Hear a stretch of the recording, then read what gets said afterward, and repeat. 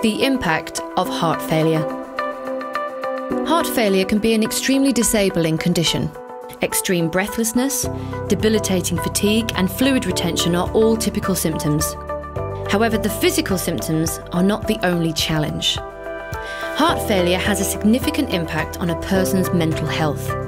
The word failure can have a profound effect on their life going forward.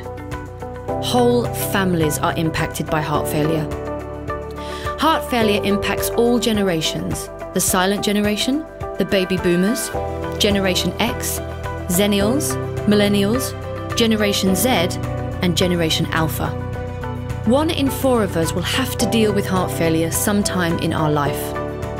With an estimated minimum of 26 million cases of people living with heart failure across the world, it touches every aspect of our lives.